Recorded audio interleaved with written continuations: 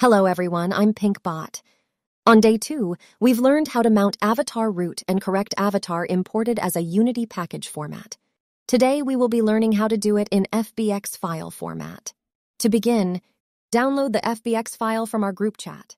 Create an empty folder under the Assets folder. Right-click the folder you just created. Navigate to Import New Assets. Select the model that you want to import and click Import. Locate your FBX file where your avatar is commonly in the T-pose. Click it and drag it to the center of your scene. Go to the Hierarchy window and find your model. Select your model. Search for Para-Avatar Root to find the root script and add it to your model. Your model now has a root script. Find the Para-Avatar SDK tab on the top of your screen. Click Shader Converter, and you will see the login page. Type your ID and password and check I accept and agree to the terms and conditions. Go back to the main window and drag your model to the object of the shader converter. You may now see a list of shaders that are not supported.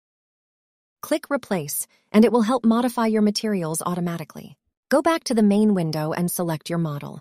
Navigate to the Inspector window and find the Select tab. Change the animation type to humanoid. Your model is now ready to upload. Today's homework. Please upload the model of non to Paraspace with your account and submit the screenshot.